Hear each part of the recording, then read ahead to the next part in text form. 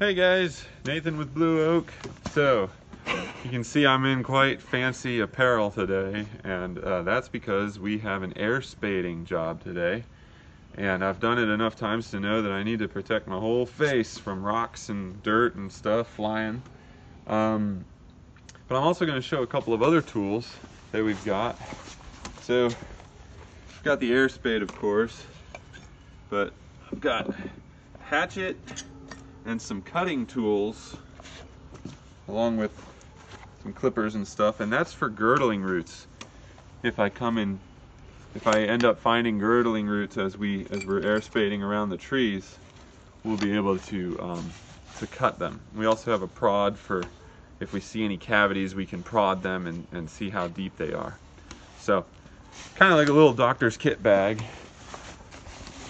This is our massive air compressor and before we um, before we even start, we're gonna we're gonna test the air spade because getting down there is really gonna be hard.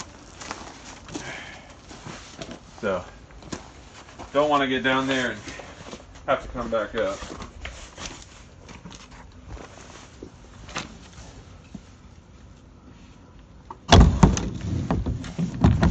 We want the hose to go to the other side of that pillar so that we don't hit their car. There we go.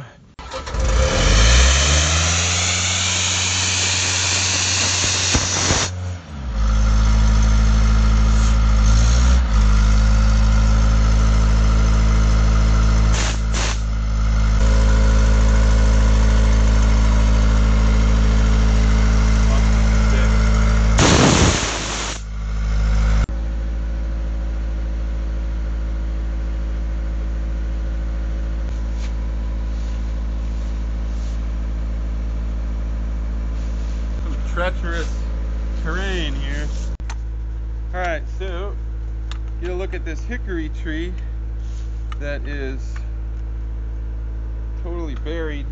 Well, not totally buried, but you can see that we don't have a healthy trunk flare exposed.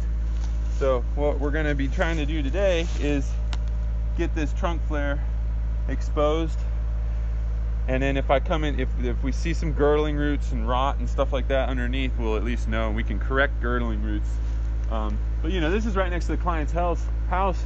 Get a pan up of that. It's a gorgeous hickory, beautiful tree, really mature, but um, right next to the house. So we want it to be nice and healthy.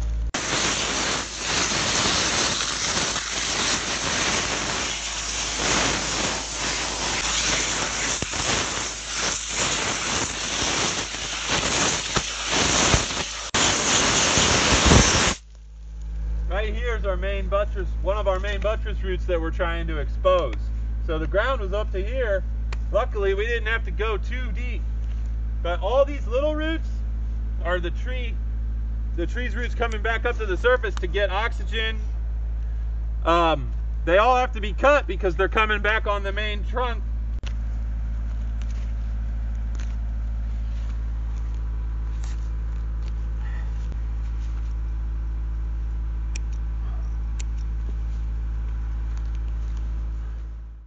All right, so as we continue to expose this network of surface roots, we've come in contact with exactly what I was talking about. This is a girdling root, and this is a great example. This is our main buttress root, and it hosts a network of anchorage roots as well as um, fine absorbing roots that come off of every larger root.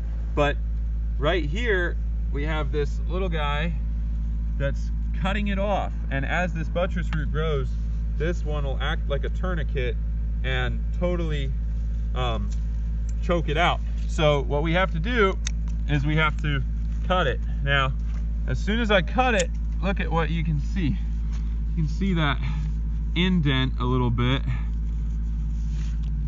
And it's not too bad. I've seen a lot worse, but you can see how it started already. It was starting to damage. This is another one that we have. Maybe we can leave this one. I'm not sure. We're gonna keep digging down and, and getting it. If it's not choking out a main buttress root, I'll leave it. But that is why this is so important because trees that have had their root flares buried over tend to have all their roots grow back on towards the surface and back in towards the base, especially with the house being this close. So now we've, we've gotten this one exposed. You can see that we're starting to get this one exposed on this side. This is the last one that I really want to get to. And I'm trying to get an idea of where it is. Might be right there. So just maybe a little bit further.